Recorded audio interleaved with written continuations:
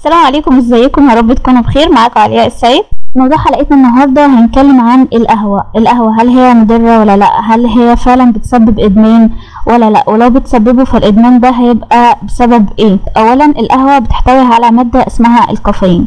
المادة دي مش بس موجودة في القهوة لا هي كمان موجودة في الشاي في الشوكولاتة وفي بعض الدراسات أثبتت إنها ممكن تبقى موجودة في الكولا. الكافيين هو اللي مسؤول عن التأثير بتاع القهوة بحيث إن الشخص مثلا شرب قهوة فخلاص مش هيعرف ينام هيبقى فيه التركيز بتاعه هيزيد أكتر.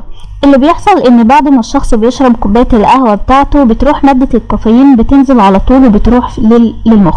هيبدأ الكافيين يقعد في أماكن مش بتاعته أصلا وهيحجز الأماكن دي وهيرتبط بيها سبب كده المادة الأساسية اللي بيفرزها المخ اللي هي بتسبب التعب أو بتسبب الإحساس بالنوم مش هترتبط بأماكنها. فبالتالي هيبقى في الشخص مركز وهيبقى مفيش إحساس بالنوم. وده هيديك شعور حلو إن أنت حاسس إن أنت مركز أكتر وحاسس إنه خلاص أنت فايق sah-sah فهيخليك تشرب مرة واتنين وتلاتة وممكن توصل لأكتر من خمس كوبايات في اليوم. المشكلة هتبدأ تظهر هنا لما الشخص بيبدأ يشرب كمية كافيين كل يوم يوميا بمعدل ثابت.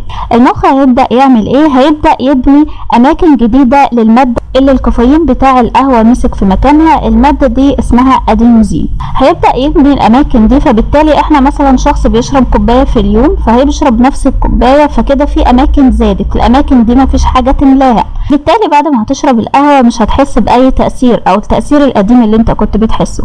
فالحل هيبقى إن إحنا هنزود بدل الكوباية هتبقى كوبايتين. وبتستمر المشكلة. مش بس كده في كمان سبب تاني إن الكافيين بيطلع مادة كويسة اسمها مادة الدوبامين. المادة دي هي اللي بتسبب الإحساس بالسعادة بتخلي الشخص كده مبسوط والدنيا مبهجة وسعيدة حواليه وده برضو سبب تاني هيخليك تشرب كمية قهوة كتير. هتحصل شوية تغيرات في الهرمونات وشوية تغيرات في المخ وكمان هيأثر على النوم بشكل كبير. الحاجات دي هتحصل إمتى؟ هتحصل لو إحنا تعدينا الحد المسموح بيه. لكل شخص مسموح له من 100 ل 300 مللي جرام الأفضل يبقى 100 اللي هو بمعدل من كوباية لثلاث كوبايات في اليوم.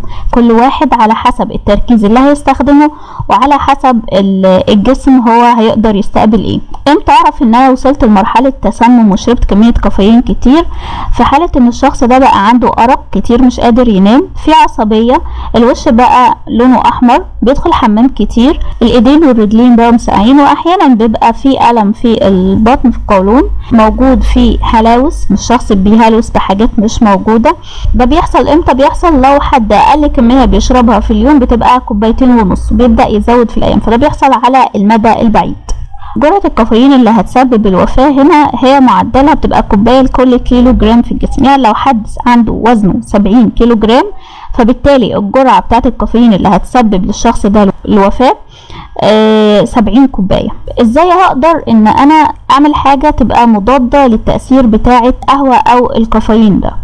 في دراسات كتير قالت إن ممكن اللبن هيساعد على إن هو بيضاد التأثير بتاعه.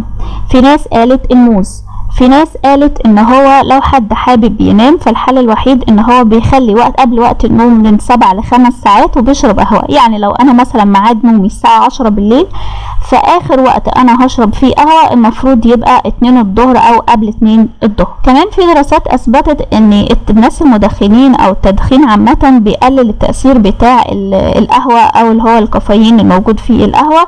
بمعنى لو هو في الشخص الطبيعي اللي مش بيدخن التأثير بيفضل لمدة سبع ساعات فلا في حالات المدخنين التأثير بيفضل ثلاث ساعات أو ثلاث ساعات ونص. يعني هي القهوة وحشة ما ينفعش أشربها. لا هي مش وحشة بس في المعدل السليم يا بمعدل إيه؟ بمعدل كوباية واحدة في اليوم.